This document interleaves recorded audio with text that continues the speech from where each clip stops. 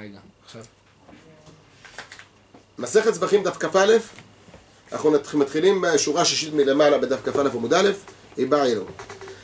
אומרת הגמרא איבא אלוהו מהו לקדש ידיו ורגליו בכיור. הרי דיברנו מקודם לגבי הקידוש ידיים ורגליים בכיור, אז איך מקדשים את הידיים ואת הרגליים? אז הבאנו בדף י"ט עמוד מחלוקת אה, איך מצוות קידוש, שמניח יד או יד ימין על רגל ימין, יד שמאל על רגל שמאל, זה אליבא דרבנן, אליבא דרבי יוסף ברבי יהודה, מניח יד על יד, רגל על רגל, וחבר שלו עוזר. עכשיו אפשר, מה, מה קורה?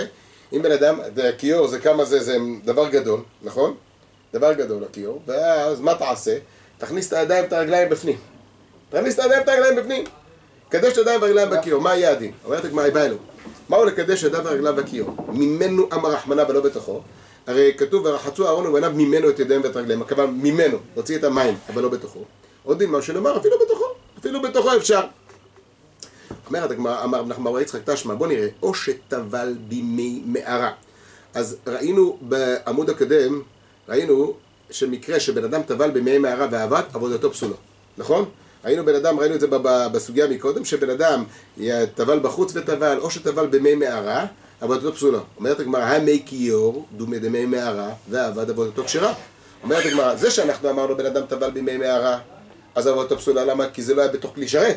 אבל בתוך מי כיור, איך אתה טובל במי מערה? על ידי שאתה שם את הידיים ואת הרגליים בפנים.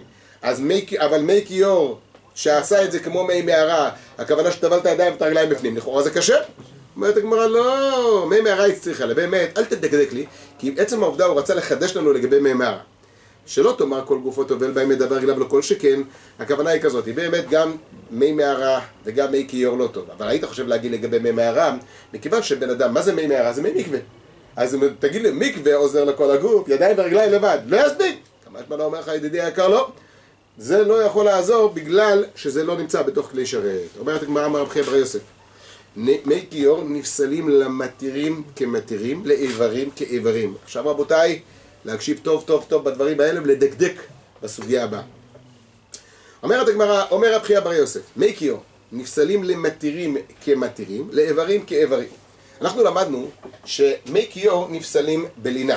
איפה ראינו את זה? ראינו את זה בדף י"ט עמוד ב', אליבא דשיטת, הבאנו מחלוקת רבי ורבי אלעזר ברבי שמעון, אליבא דרבי אנחנו אמרנו שלינה מועדת בהם, הכוונה מגיע עלות השחר, פוסל. אליבא דרבי אלעזר ברבי שמעון, אפילו עד מכאן ועד הס... זאת אומרת, שזה לא פוסל, כך ראינו בדף כ עמוד א', שכאילו פשטנו את הספק, כשאנחנו אמרנו רבי לפי רבי אלעזר ברבי שמעון, זה אף פעם לא פוסל. עד כאן גמרנו את זה. עכשיו בואו נשים לב. מה הדין לגבי מי כיור שהגיע עלות השחר, והמי כיור היו למעלה, ולא למטה, אז עכשיו, והגיע עלות השחר, כל המים שנמצאים בפנים פסולים. מסביר על זה התוספות, עכשיו אם כן, אולי כשאני אוריד את זה למטה ויחבר את זה עוד הפעם את המים כדי להכשיר אותם, אומר אין דבר כזה, למה התוספות מביא את הפסחים דף ל"ד, אין זריעה להקדש, זאת אומרת, כשאנחנו אומרים שיש לנו זריעה והשקה, כל הדברים האלה שייכים לגבי מקווה, לגבי טהרת מים, אבל לא שייך לגבי הקדש, זאת אומרת, לגבי הקדש צריך לרוקן את הכלי לגמרי, גמרנו, לרוקן את הכלי ולעשות מה שצריך לעשות. דש. אבל ברעיון אין זריעה להקדש. לכן אם פסלתי את זה, אני לא יכול להחזיר את זה בחזרה למטה את, ה, את הכיור כדי שיתחבר למי המעיין שנמצאים בחלק התחתון של בית המקדש, אלא מה אני צריך לעשות? לרוקן את זה לגמרי. אין זריעה למה, למה להקדש. מורידים אותו ולא פשוט קודם כל מרוקנים אותו בחוץ ואז... למה לא רוקן אותו? יש לך שם 200 מים. ליטר מים, תוריד אותו, תן לזה להתחבר, ככה שזה יהיה, שזה יהיה מחובר ולא יגיע לפסולה, ואחרי שזה כבר הגיע לפסול, אתה צריך לרוקן אותו. אה, לפני. הפסול זה מועיל? לפני הפסול זה מועיל, נכון. אז עכשיו, בא רב חייא בר יוסף ואומר ככה, הרי אנחנו יודעים שאם עבר, אם בן אדם מקדש ידיו ורגליו ביום, מגיע הלילה, בלילה הוא כבר לא יכול לזרוק את הדם, הוא לא יכול לעשות, יש מלאכות של היום, מלאכות של הלילה. אז אם בן אדם לדוגמה לעשות, שצריך לעשות עבודת דם ועבודת קמצים, ביום ולא בלילה. מה יש בלילה? הקטר חלבים ואיברים. זאת אומרת שמקטירים את האיברים של כל הלילה, נכון?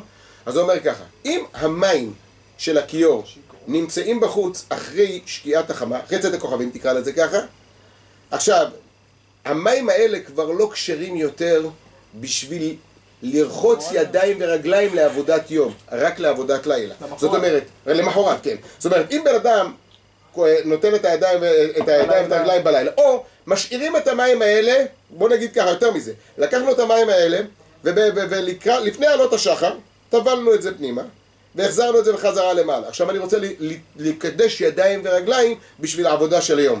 זה לא יעזור שום דבר. למה?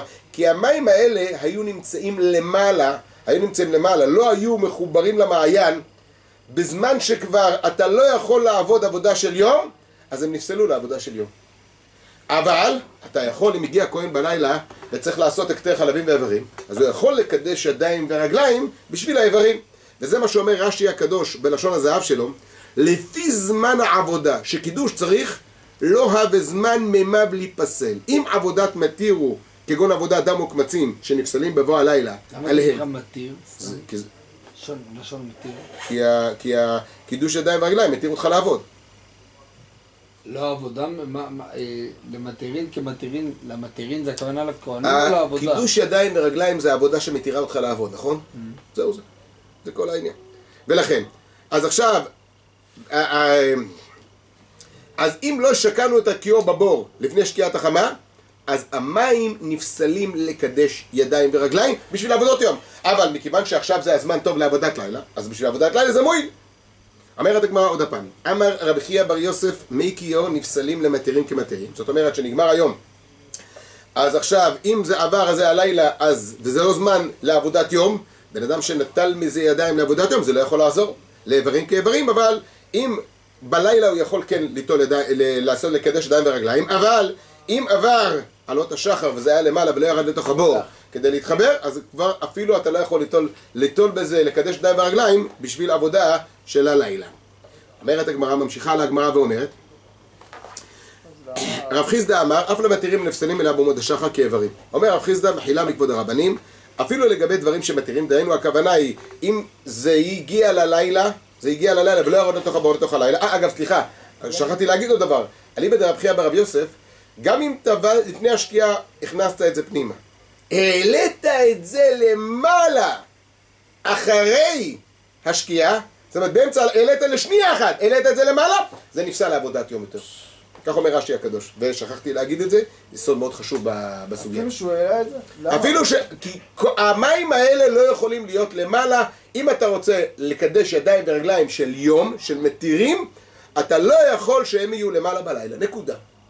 אומרת הגמרא, אבל רב חיסדא אמר, אף למתירים אין מפסלים אלא מעמוד השחר כאיברים. הכוונה, אומר רב חיסדא, שכל לינה לא פוסלת רק בעמוד השחר.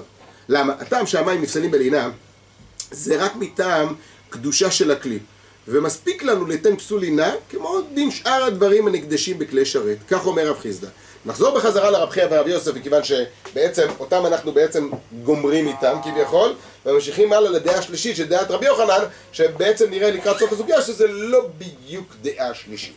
אז בואו נתחיל ככה. אומר רב חייא ברב יוסף ככה, אם אתה רוצה לקדש ידיים ורגליים בכיור בשביל עבודת יום, זה נקרא עבודת מתירים, אז אתה צריך להיות בטוח שבלילה, בזמן שאין אפשרות לעשות עבודה מתירה, שהמים האלה לא יהיו למעלה, אלא שיהיו למטה בתוך הבור.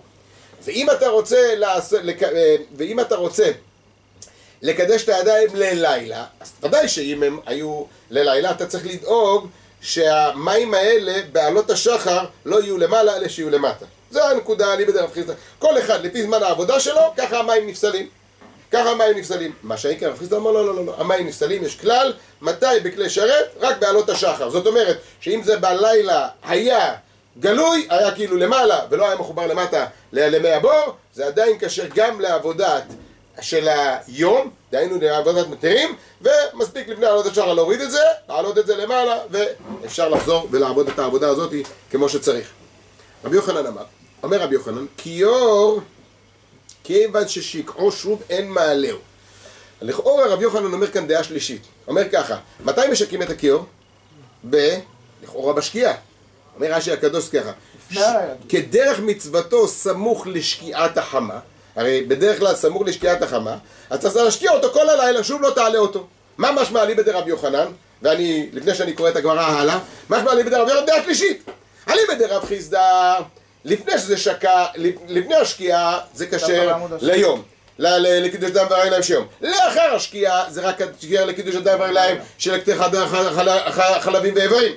אליבא דרב חיסדא, הכל הולך על עבודת השחר. לכאורה אליבא דרבי יוחנן, הכל הולך על השקיעה. אז מה היו עושים בלילה, סתם, בפשט, אם ככה גמר מבינה? מה היו עושים בלילה? מה השאלה שלך? איך היו עובדים מלקדש? אז או, כמו שלמדנו בדף י"ט עמוד ב', אם ש- כרב לייזר. לא, או כמו שלמדנו בדף י"ט בדף י"ט עמוד ב', שהיו מקדשים את הידיים והרגליים ביום, ביום, רק לרב לזר זה. אליבא דמי. רק לרב לזר לא, לא לרב לזר, עזוב, אנחנו, אתה רב לזר ברבי שמעון ורבי רבי? שמתיר את זה. לעבוד אפילו רציף. אני רואה שאתה לא זוכר את הגמרא שמה בדיוק, כי אתה מערבב שתי דברים. אבל תעזוב, כרגע, אנחנו עוד רגע נחזור לזה. נגיע לרב לזר ברבי שמעון. אבל, לפני שאני אחזור לנושא הזה, כי אני לא רוצה להתחיל לפרט את זה עוד הפעם, כי אני אפרט את זה בדף כ"א עמוד ב' על התחילת העמוד. אבל היסוד הוא דבר כזה. בעצם ככה, אליבא דשיטת רבי אה, רב חייא ברבי יוסף, אז בעצם צריכים שכל הכוהנים יקדשו ידיים עוד בעוד יום, ואז לשקוע את זה בלילה, כדי שלא ייפסל לעבודת יום. אז לשקוע את זה לפני הלילה. מה קורה אם הגיע איזה כהן חדש ככה עשה מערבים חבלי שינה, מגיע לבית ורוצה להתחיל לעבוד? אין בעיה! תוציא את זה, הוא יקדש ידיים ברגליים. אבל את כל המים האלה אתה שופך, אין מה לעשות. ודאי, צריך להביא מים חדשים. ואז אה, חברת הגיחון תיקח אה, חשבון הרבה רבי יותר... יוחנן עכשיו, מה הוא סובר? או, עכשיו אני אסביר את רבי יוחנן. אומרת הגמרא, רבי יוחנן אומר, כי יור כיבן ששקוש ובן מעלהו. משמע אליבא דרבי יוחנן, שאליבא דרבי יוחנן תשקע את זה כל הלילה, וככה כדי שלא יפסול את המים. אומרת הגמרא, למימרא דלעבודת לילה, נמי לא חזי? מה אתה רוצה להגיד, אליבא דרבי יוחנן, אתה משקע את הכיור, וזה לא ראוי אפילו לעבודת לילה? אומרת הגמרא, והאמר רב אסי אמר רבי יוחנן, עכשיו אנחנו תזכרו, אומרים מימרה שנייה של רבי יוחנן. משמי דאילפא בשם אילפא כיור שלו שקעו מבערב מקדש ממנו לעבודת לילה ולמחר אינו מקדש. אני לא אכנס לפרטים של, ה, של המימרה השנייה של רבי יוחנן, רק בדף כ"א עמוד ב' באמצע העמוד נדבר על זה. אבל בכל אופן, מה ראינו בשם רבי יוחנן? שכיור שלא שיקעתי אותו מבערב, אז ביום אני יכול לקדש ממנו לעבודת לילה, ולמחר אינו מקדש. והכוונה היא כזאת, אנחנו מבינים ככה, שמכיוון שאנחנו מבינים בהווה אמינא, אומר רש"י, שהמים האלה כשרים רק לעבודת לילה כמו מי? כמו רב חייא ברב יוסף.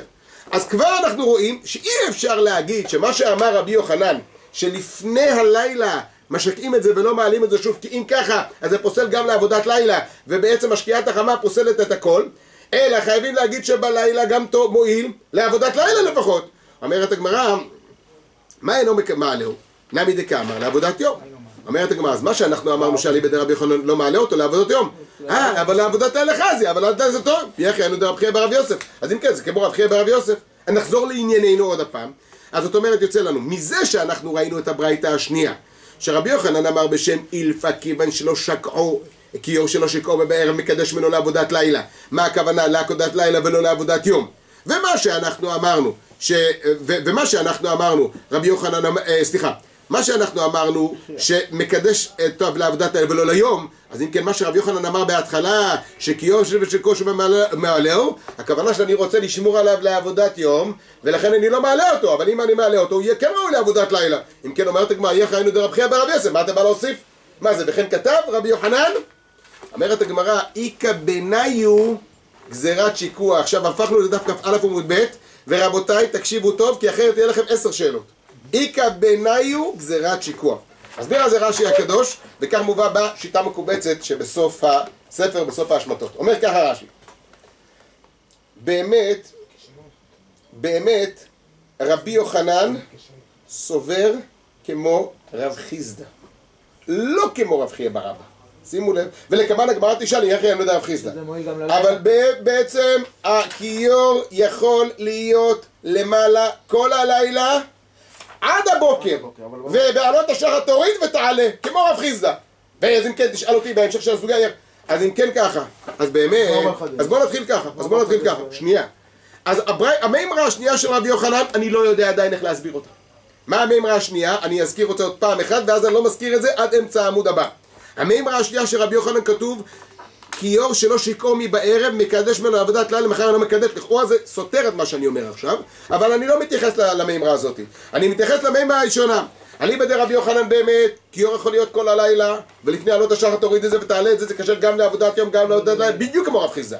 אם כן אבל בכל אופן רבי יוחנן, רב, רבי יוחנן אמר שרבי יוחנן אמר שאת הכיור הזה תטבול אותו עוד לפני עלות השח, עוד לפני השקיעת החמה, תוריד את זה למטה, כדי שיהיה כל הלילה בפנים. למה? עכשיו אם כן, מה ההבדל בינו לבין רב חייא בר רב יוסף? מה ההבדל בינו? הרי הם שתיהם צריכים לשפ... לא- ל... ל... ל... לשקע אותו בלילה, או לפני הלילה, עוד ב... לפני הלילה, כדי שלא ייפסל. אליבא דרב- אליבא דרב חייא ברב יוסף, אם אתה לא תשקע אותו בלילה, אז המים נפסלים. מה שאין כן, אליבא דרב יוחנן, לא, לא, לא, לא. באמת, אם אתה לא משקע אותו בלילה, המים לא לא נפסלים לא לעבודות יום ולא לעבודה, ובוודאי לא לעבודת לילה. אבל אנחנו אמרנו גזירה, שאם אתה תשאיר את הכיור למעלה, יגיע עמוד השחר, יבואו הכהנים ליטול ידיים, הם יראו שהכיור נמצא למעלה, לא יורידו אותו למטה יותר. ואז מילא יגיע הכ- הכהן הראשון שבא לעשות תרומת הדשן, הוא טוב, ייטול את הידיים וימשיך הלאה. כאן, אבל אם הוא יראה שהכיור נמצא למטה, הוא יעלה, כי הרי זה מקריאת הגבר, זה לפני עלות השחר. אז מה הוא יעשה? יעלה את הכיור, יקדש ידיים ורגליים, יוריד את זה שוב פעם. ולכן אליבא דרבי יוחנן זה לא מדאורייתא פוסל שום דבר, אלא העניין הוא גזירה, יש ביניהם גזירת שיקוע. אליבא דרבי יוחנן, אם אתה לא, אני גוזר אותך שתשקע את זה עכשיו, כדי שזה יהיה ברור לנו שלפני עלות השחר, כשאתה מעלה את זה כדי לעשות אקטך הלוי, אה, לעשות, לקדש את הידיים ואת הרגליים של, ה, של התרומת הדשן, של הכהן שעושה תרומת הדשן, שיוריד את זה בחזרה למטה פנימה. ומסביר על זה רש"י, זה מדויק יפה מאוד במילים. כי אליבא דרב חייא ברבי יוסף הוא אומר, מכיור נפסלים למתירים. זאת אומרת, יש כאן פסול במים. אליבא דרבי יוחנן, רבי יוחנן לא אומר נפסלים. כיור כבש שכוש עומד מעלהו. משמע מכאן של גזירה. כדי שתשקיע את זה, כדי שיישאר למטה, כדי שלפני עלות השחר תעלה אותו, תוריד אותו מיד, כדי שתמיד נזכור בדבר הזה. בסדר? אומרת הגמרא, אז אם כן, רבי יוחנן עוד הפעם כמו מי סובר? לא כמו רב חייא ברבי יוסף, אלא כמו רב חיסדא. אבל יוצא שהתוצאה שלו זה אותו דבר כמו רב חייא ברבי יוסף, שמשקים אותו כבר בתחילת הלילה. אומר נכון, אתה משקע אותו עוד יום לפני כן, לפני שקיעת החמה, אני בדרב חייא ברבי יוסף כדי שלא יפסלו את המים לעבודת יום. ואני בדרב יוחנן, כדי שלא יגיע למצב כזה שזה ייפסל בעלות השחר. אומרת הגמרא, ואמר רב יוחנן, עכשיו אנחנו רואים את המימרה השלישית של רבי יוחנן. קידש ידיו לתרומת הדשן, למחר אני צריך לקדש, שכבר קידש מתחילת עבודה. עכשיו, הרי רבי יוחנן אמר שאם קידש ידיו לתרומת הדשן, למחרת לא צריך לקדש, שכבר קידש ידיו בתחילת עבודה. את הגמרא הזאת ראינו בדף כ עמוד א', ושם הבאנו מחלוקת אביי ורבא, האם הוא סובר כמו אה, רב לזר ורבי שמעון, או כמו רבי. אבל בוא נקרא את זה, מה? או, עכשיו ככה, בן אדם מקדש ידיו לתרומת הדשן. מתי הוא מקדש ידיו לתרומת הדשן? בקריאת הגבר. קריאת הגבר זה לפני עלות השחר. אם אתה משאיר את זה שמה, עדיין למעלה בעלות השחר, זה פוסל את המים. ולכן, אנחנו קידש ידיו לתרומת הדשן, למחר אין צריך לקדש, שכבר קידש מתחילת עבודה. כן, אבל הוא לא יכול להשתמש. שנייה, הוא לא שנייה. יכול להשתמש במים. למה? שנייה, שנייה, לא, לא אמרתי את זה, שנייה. עכשיו, אני קודם כל אסביר את השאלה, אני לא צודק במה שאני אומר עכשיו, אני קודם כל אסביר את הרעיון של השאלה, ואחר כך ניכנס ונגיד, אליבא דרבא אין שאלה, אליבא דאביי כן יש שאלה. אבל קודם כשאני אסביר את השאלה, משמע מכאן שלא צריך להוריד את זה בחזרה למטה. אלא משאיר את זה למעלה גם בעלות השחר. משמע מכאן שבעלות השחר זה לא פוסל אפילו. אומרת הגמרא ככה, ואמר רב יוחנן, קידש ידיו לתרומת הדשן למחר אין צורך לקדש, שכבר קידש מתחילת עבודה. ועכשיו אומרת הגמרא, בשלמה לרבא דמוקים ללאי כרב לזר ברבי שמעון הכרבי. אלא לאביי דמוקי לכרבי, קשא דרבי דרבי, מה ישנאתם דמשקלה ומה ישנאך דלא משקלה. שאלה. ועכשיו בואו נסביר את זה. אנחנו זכרנו שבדף כ עמוד א', סליחה, בדף י"ט עמוד ב' ראינו מחלוקת רבי ורבי אלעזר ברבי שמעון. זה מה שאתה הזכרת מקודם, ועכשיו אנחנו נדבר על זה. אליבא דשיטת רבי, מגיע עלות השחר, ואז בן אדם צריך עוד הפעם לקדש ידיים ורגליים, נכון? עכשיו יש לנו שתי דברים שנפסלים. אליבא דרבי, עצם העובדה, קידשתי ידיים ורגליים ב- ביום לפני כן, כל הלילה עבדתי, הגיע עלות השחר, נפסל הקידוש ידיים ורגליים. אה, המים כבר לא נמצאים על הידיים שלי, איך נפסל? איזה מים נפסלים? לא משנה איזה נפסל. אז אם, זה מדי רבנן כמובן, אז אם נפסל המים של הקידוש ידיים ורגליים, שכבר יבשים, כל שכן שהמים של הכיור, אם לא הורדת אותם לבור, ודאי שנפסלים. כך אומר רבי. אני בדרב לזר ברבי שמעון, מה פתאום? דבר ראשון, הידיים והרגליים לא נפסלים. אה, רגע, והכיור נפסל מדאורייתא. הידיים והרגליים נפסלים מדי רבנן, כי אין לך על מה לחול. אז לכן מדי רבנן, רבנן חזרו על זה, שזה ייפסל. מה שאם כן אליבא דשיטת רבי, אה, אה, אה, הכיור, מדאורייתא. אליבא דרב לזר ברבי שמעון, העניין הוא לגמרי אחרת. הרי אליבא דרב לזר ברבי שמעון אנחנו אמרנו, עלות השחר לא פוסל אפילו את הידיים ואת קידוש ידיים ורגליים. הסתפקנו בגמרא בדף כ עמוד א', האם אנחנו בסדר, קידוש ידיים ורגליים זה לא פוסל, אבל אולי את המים שנמצאים שם בתוך הכיור ונמצא למעלה, אולי זה פוסל? והסקנו בגמרא שאנחנו אמרנו שמה, לא, זה לא פוסל. אומרת הגמרא, אה, כיור שלו שוקו בערב בגדי... אה, אה, אומרת הגמרא, אז הוא פשע עד הפרשית אילפא כמחלוקת בזו, כך מחלוקת בזו. נכון שהקשינו, רבי יצחק בביסנא שאל, הרי אנחנו ראינו שהסתפקנו, אבל בעצם או כמו שפסק כרבין אמר בשם רבי ירבה בשם רב אבי, שהוא פשט לו להלכה שבשתיהם, אני בדי רבי שמעון, רבי אליעזר ורבי שמעון, זה יהיה כשר, והבאנו את רבי יוחנן, רבי יצחק בביסנא, שהוא אומר שאי אפשר לפשוט את הבעיה הזאת. אבל עכשיו בוא נראה. רבי יוחנן אמר את המשפט הזה. אומר רבי יוחנן, קידש ידיו לתרומת הדשן, למחר אני צריך לקדש, שכבר קידש מתחילת עבודה. עכשיו, אנחנו הסתפקנו ושאלנו, כמו מי רבי יוחנן אומר? האם רבי יוחנן אמר את זה לשיטת רבי? כי אם אמר את זה לשיטת, לא מסתבר שהוא אמר את זה לשיטת רבי. למה? כי לשיטת רבי, להיות פסול. ברגע, למה למחר אתה לא צריך לקדש? כי הרי עבר עמוד השחר, אתה צריך עוד פעם לקדש ידיים ורגליים. ולשיטת רב לזר ברבי שמעון, גם אתה לא יכול להגיד שאני בדי רב לזר, פשיטה שלא צריך לקדש למחר. כי רב לזר ברבי שמעון אמר, ברגע שבן אדם קידש ידיים ורגליים וממשיך הלאה לעבוד אפילו עד עשרה ימים, אפילו עד עשרה ימים לא צריך. אז כמו מי אמר את זה? אז אומרת הגמרא, רבא אמר, מעמיד את זה כמו רב לזר ברבי שמעון. אומרת הגמרא ככה, מה רבא אמר כמו רב לזר ברבי שמעון? אומר ככה, שמה שאמר רבי יוחנן קידש ידיו לתרומת הדשן למחר אין צריך לקדש שכבר קידש מתחילת עבודה הוא אומר זה הולך על איבא דרב אליעזר ברבי שמעון. שמה רב אליעזר ברבי שמעון אומר? שמכיוון שהוא כבר קידש בתחילת העבודה אז הוא יכול להמשיך הלאה וללכת. וזה מה שאנחנו אמרנו הבאנו את שיטת רבא.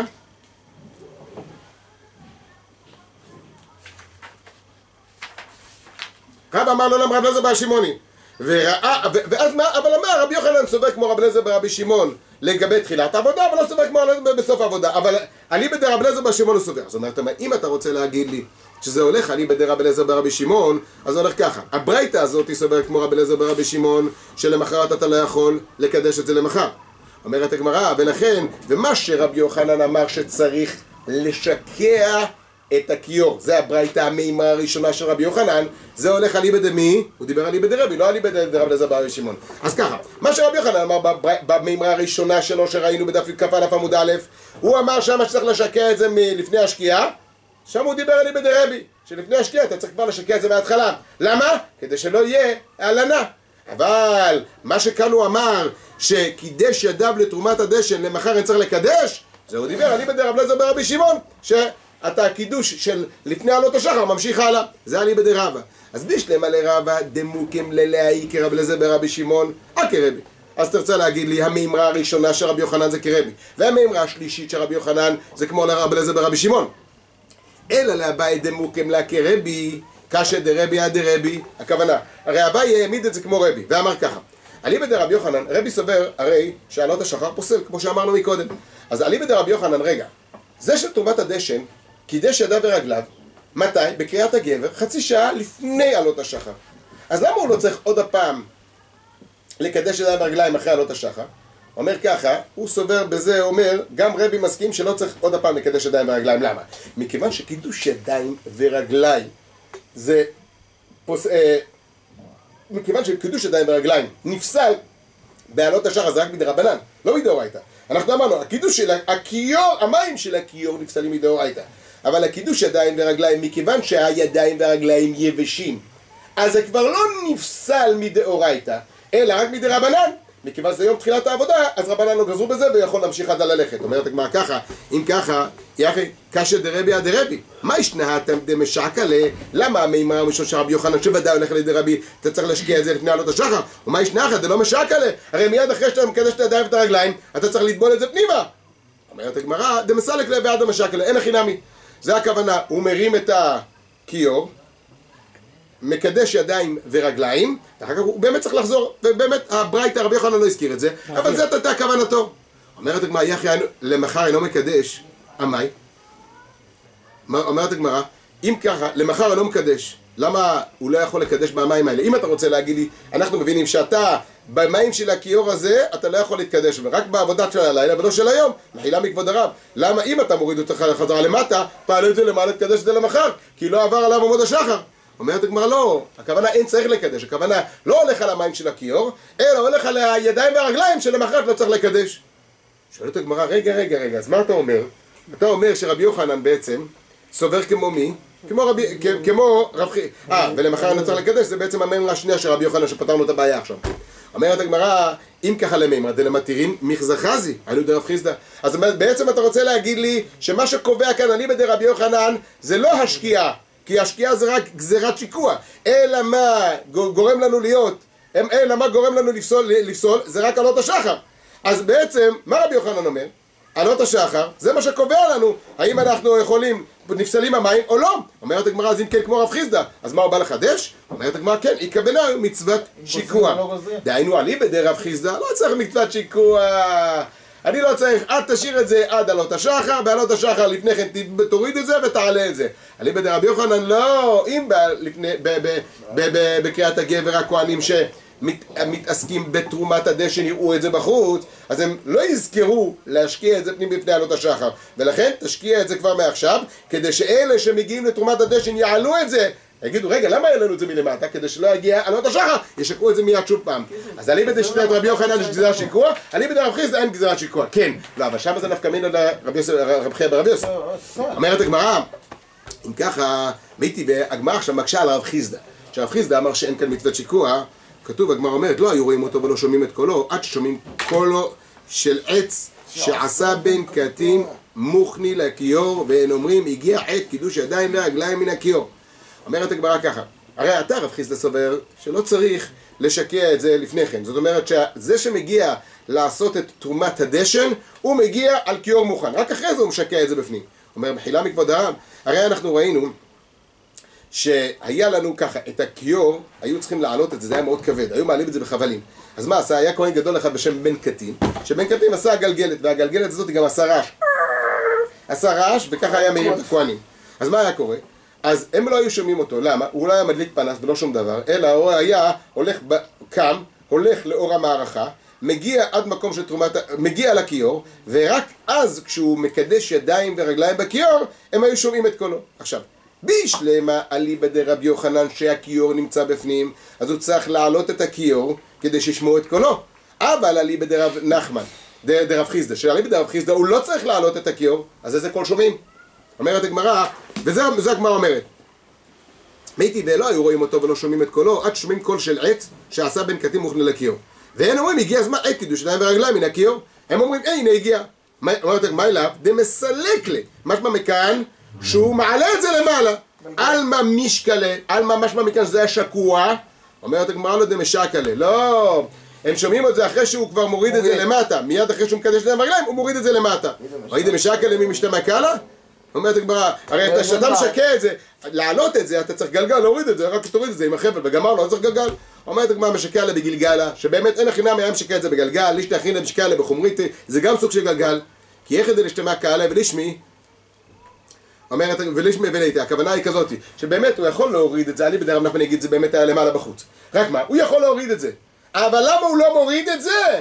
למה הוא לא מוריד, הוא יכול להוריד את זה בלי הגלגל. אבל למה הוא מוריד את זה בגלגל? כדי לעשות רעש, כדי להעיר את אחיו הכהנים. אומרת הגמרא, והיה וגביני כרוז, הרי גביני כרוז היה שם שהיה מכריז ואומר של הכהנים לקום. אומרת הגמרא, בית רי יקרי עבה. עבה עבדה, דשם מהייעתי ושם מהייעתי. עושים את זה שתי יקרים, זה כמו ששעון מעורר, שאתה מתעורר, אתה מכבה את זה, זה שנודניק.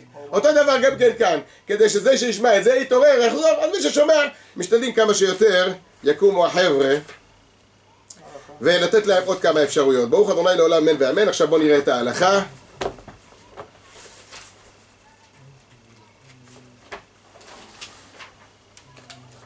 גביני כרוז. אוקיי, אה, נחלקו הפוסקים, מהו שיעור תוספת חומרים בעיסה שמחמתם נחשב המאפה כפת הבאה בכסנים, ברכתו בורא מיני מזונות, ולאחריו ברכה אחת מעין שלוש. למדנו אתמול, שכשאתה לקחת קמח, ואתה ערבבת בזה קצת צימוקים, קצת קינמון, לא, זה נשאר עדיין בגדר לחם. אבל אם אתה שמת כמות גדולה יותר, או שערבבת, עשית את, את הבצק שיהיה מזונות, אז זה בסדר. עכשיו, מה, מה, מה, מה קו הגבול פה?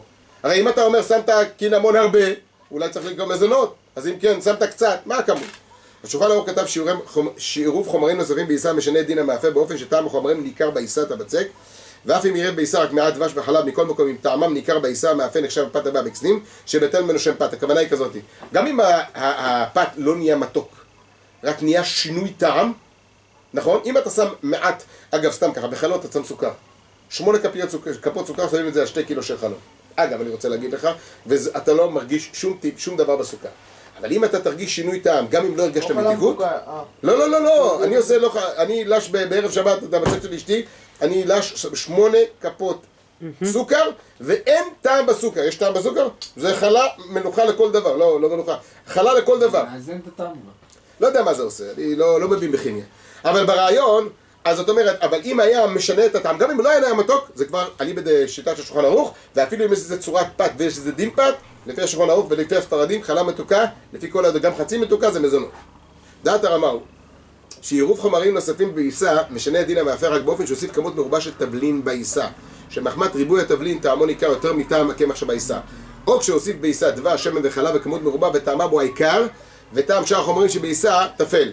כאן הדגש הוא שהטעם של המתיקות זה טעם העיקר, וכל השאר הטעמים זה טפל. אולם אם נראה בעיסה רק מעט דבש וחלב, אף על פי שטעמם ניכר, אתה מרגיש את הטעם דבש וחלב, הוא מורגש בעיסה. מכל מקום, כיוון שאינה עיקר הטעם במאפה, המאפה נחשב לחם גמור, ומברכים עליו המוציא וברכת המזון, שאין בטל שם פת במאפה מחמד שמורגש בו טעם חומרים אלו. אז בעצם הנקודה הזאת היא, מה עיקר הטעם? האם זה הלחם או המתיקות? אצל העוגה זה המתיקות, אצל הלחם זה הבצק. בימינו מצורים מיני לחמים, לחמניות וחלות שמוסיפים בעיסתם חומרים שונים למתקם וניתן בהם טעם, ופעמים שמחמת תוספת חומרים אלו בטל מהם שם פת, הרי אלו בכלל פת הבאה בכיסנים, ומברכים עליהם בורא מיני מזונות, ופעמים שאין תוספת חומרים משנה את דינם, ומברכים על היוצאים לחם מן הארץ, מכל מי ומי צריך לשאול החכם, הבקיא בדינים אלו, ברוך אדוני לעולם, אמן ואמן, וזה עיקר הדבר.